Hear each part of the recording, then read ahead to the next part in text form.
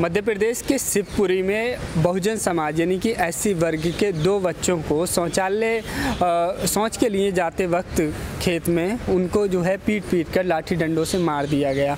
उसके बाद से जो है बहुजन समाज में एक आक्रोश की स्थिति बनी हुई है। मेरे साथ में संदीप कुमार हैं जो दिल्ली यूनिवर्सिटी के स्टूडेंट हैं, सोशल एक्टिविस्ट हैं और बहुजन समाज के मुद्दों पर अपनी बात बेबाकी से रखते रहे हैं। संदीप जी, किस तरीके से देख रहे हैं ये मामला कि एक तरफ़ शौचालय के बारे में सरकार जो है इतना पुरजोर अभियान चलाती है और ये कहते हैं शौचालय मुक्त हमने देश को बना दिया। वहीं एक मामूली सी इस घटना पर जो है बच्चों की पीट पीट कर जो है हत्या कर दी जाती है।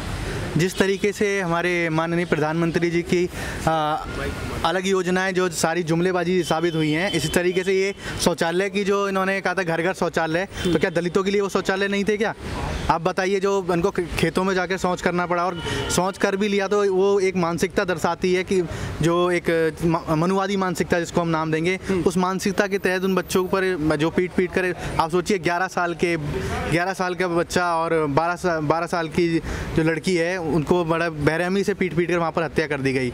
तो उसी को लेकर तीस तारीख को शिवपुरी में भी धरना किया जा रहा है जो आ, सुनील सत्ते जी हैं वो लोग वहाँ पर धरना प्रदर्शन करने के लिए पहुँच रहे हैं। और मैं भी वहाँ पर पहुँचने की पूरी पूरी कोशिश कर रहा हूँ कि जाऊँगा मैं वहाँ पर। और हमारे जितने भी साथी हैं वहाँ पर लगे हुए हैं कि ज़्यादा से ज़्यादा रिपोर्ट खोजने की कोशिश कर रहे हैं कि किन कहीं यादव और दलितों को लड़ाने की साजिश तो नहीं या अन्य तरीके से लोगों को भड़काने की साजिश हो।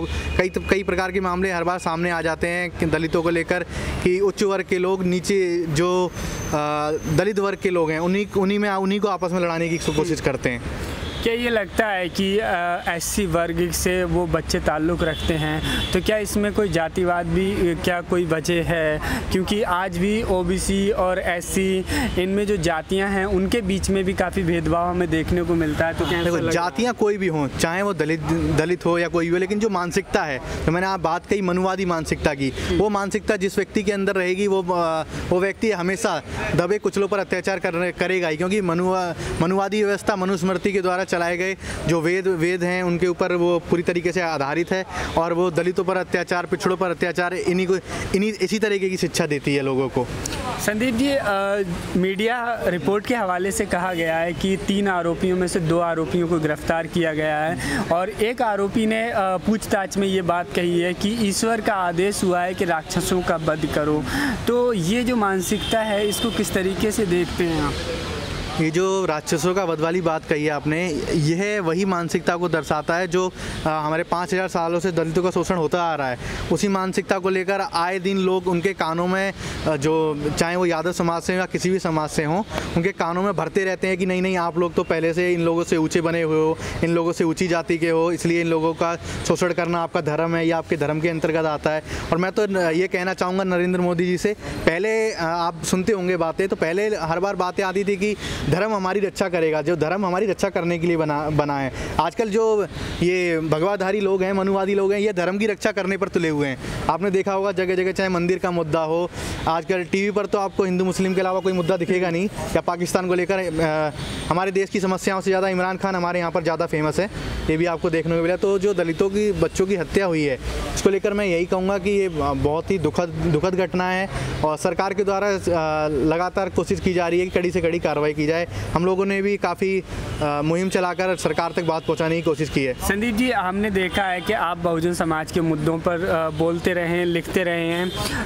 एक पिछले जो छः साल का कार्यकाल बीजेपी का रहा है, मोदी सरकार का रहा है, उसमें जो है बहुजनों की स्थिति जो है बहुत ज़्यादा दयनीय है या बहुत ज़्यादा उन पर जुल्म या अत्याचार हो रहा है, ये बात कही जाती रही है मोदी सरकार पर, ये आरोप लगते रहे हैं। लेकिन मध्य प्रदेश में तो कांग्रेस की सरकार है।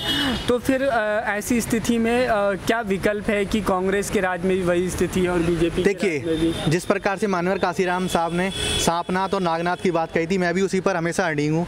बेशक चाहे वो किसी भी किसी भी रूप से हम लोगों के कितने भी सगे बन जाएँ लेकिन आ, आप ज़्यादातर देखेंगे पार्टियों में उनको जो हमारे चाहे वो नेता हों या या किसी भी प्रकार के कार्यकर्ता हों उनको रख उनको रखने के बाद सिर्फ़ उनका यूज़ किया जाता है और अलग अलग तरीके से उनका शोषण किया जाता है बस।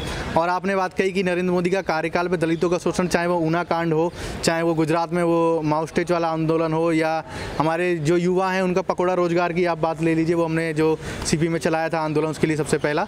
और आए दिन लगातार दलितों के शोषण आपने मध्य प्रदेश में कांग्रेस की सरकार की बात कही तो कांग्रेस और भाजपा ये दोनों एक ही थाली के चट्टे बट्टे हैं, क्योंकि दोनों में ही जब उच्च पदों की आप बात करेंगे, दोनों में ही उसी जाति के लोग शामिल हैं उच्च पदों पर जो दलितों पर शोषण करते हुए आए हैं आज तक।